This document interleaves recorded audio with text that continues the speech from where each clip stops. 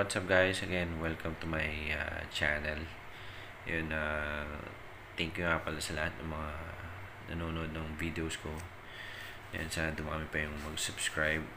Um, it's all about uh, sneakers guys. So, sana magustuhan nyo yung mga yung concept. Kasi, ayun, mahilig ako mag-collect ng sneakers. Though, kukunti pa lang sila. Pero, hopefully, uh, makuha ko yung mga sneakers na gusto ko na hindi ko nakuha noon. And then yun, uh, itong i-feature ko ngayon is, uh, actually hindi ko, siya, hindi ko na siya ina-expect na makukuha ko pa eh. So parang, for me, I don't know, I'm not sure. For me, it's hard to find already. So, ayun, so tingnan natin. So, ito siya. Let's say Jordan 32. So, open na natin yung box.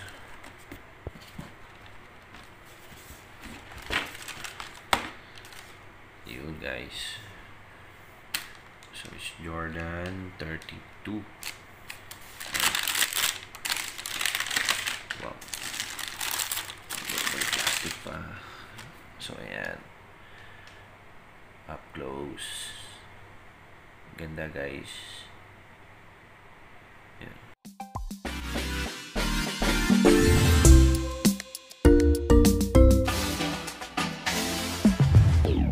Actually,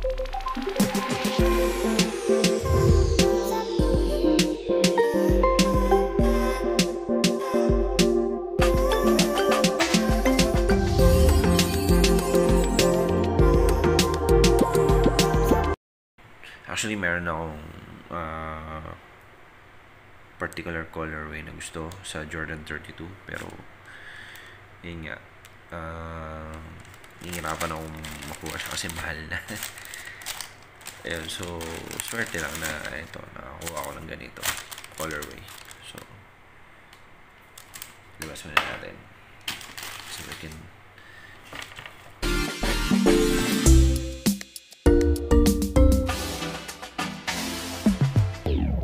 Ah,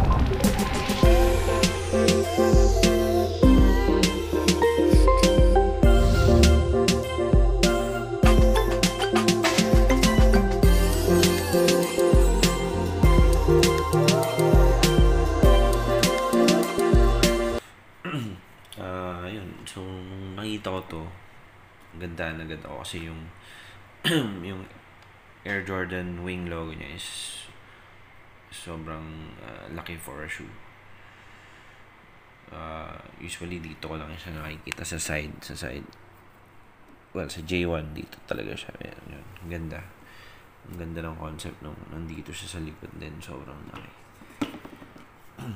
Ayun, so, as you can see, may nakalagay dito, finale. Yan. Uh, finale. So, ang ibig sabihin yata nito, um, parang yan yung uh, last, pinaka-last pair na ginawa nila. Uh, pinaka-last colorway kasi ni-release to, sorry, uh, way back 2018. So, ito na yata yung pinaka-last pair na ginawa nila sa Air Jordan 32. Kaya tinawag na finale. Yan. Pero hindi ako sure. Correct me if I'm wrong. Yun. Yan. So, finale. And then, kung titignan natin yung outsole niya, yan. Ganda. Combination of yung half, uh, ano niya, is red, and yung down is uh, violet. Yan. Ganda, ganda guys. May presyo pa. Sorry, hindi ko natanggal. Pero still price na yan ako. yeah, so maganda siya guys. Closer look. Top view. Top view.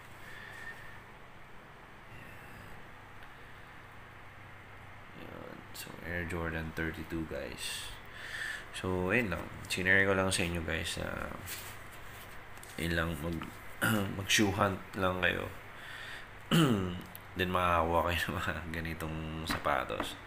O minsan nag-shoe hunting lang talaga ako. Eh. Tapos, out of ano, nowhere. Nakakita ako ng mga yun may mga shoes na hindi ko na-expect na makukuha ko. Tapos mura pa.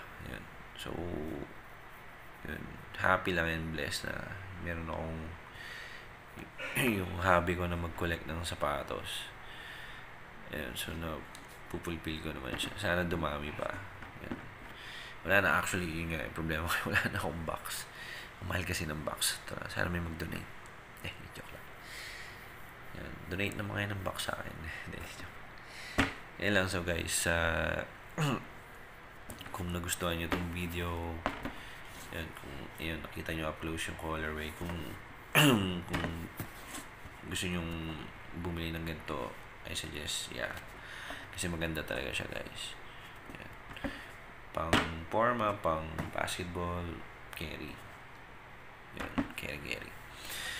So, yun guys. Salamat ulit sa mga Salamat sa inyo guys. Salamat sa mga nanonood sa akin. Kung hindi pa kayo nag-subscribe, subscribe na kayo guys. Kasi um, tatry kong features sa iba-iba.